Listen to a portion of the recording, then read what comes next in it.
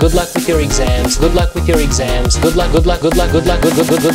What's up guys, Anıl here. In this video, I have two full pages of vocabulary related to education. Let's get right to it. Okay, so let's start right here in the middle. My first collocation is a verb, lack. To lack education. If you lack education, that means you haven't received the necessary education. And I have two opposite adjectives here, literate and illiterate. If you're literate, that means you know how to read and write. If you're illiterate, that means you don't know how to read and write. I could also add the noun forms literacy and illiteracy of these adjectives. Okay, more words here to the left. You receive an education, you get an education. You can also pursue your education or further your education. These are all collocations of the noun education. I completed my formal education in 2004. So I have formal education, college education or university education. People in the US usually say college and people in the UK say university. To the left, I see a collocation for college or university, get into. So you go to school, you graduate from high school, and then you get into college or you get into university. So higher education refers to the education that we receive after high school. It can be bachelor's, master's, and so on. So first, you get a bachelor's degree, and then, if you want, you can get a master's degree. And later, you get a doctoral degree. Bachelor's means undergraduate. Graduate degree means a master's degree or a doctoral degree. If you're studying law, for example, you can say, I'm pursuing a law degree or a medical degree. A PhD dissertation is what you write to get a doctoral degree, to become a PhD. Next, I have scholar. It's a noun.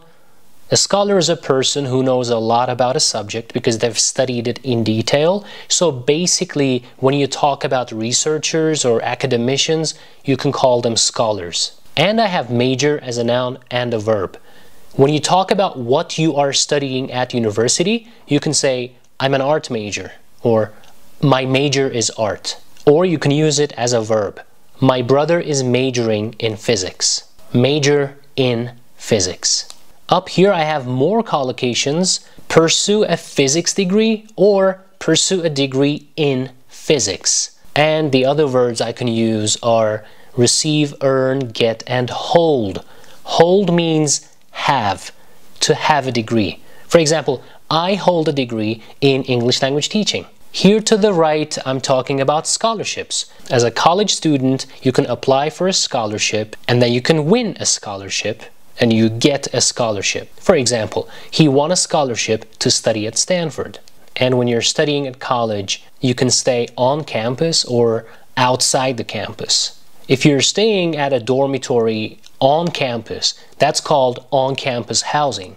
If, however, you're staying outside of campus, that's called off-campus housing.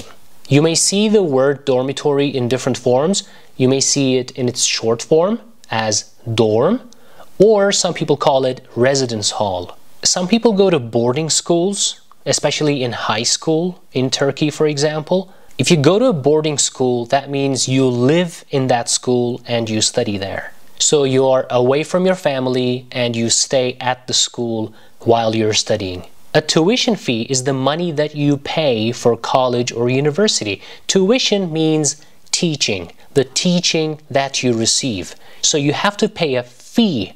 Fee means money, basically. So tuition fee is the money that you pay, especially for a college or university. Here's an example. The scholarship pays the tuition fees, but students still need to find money for accommodation, which means housing, meals, and books.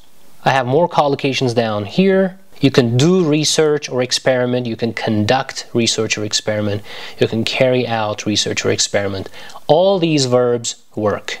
Teachers hold, run, or conduct classes, seminars, or workshops. Students, however, attend a class, a seminar, or a workshop. Also, teachers develop a curriculum or a syllabus.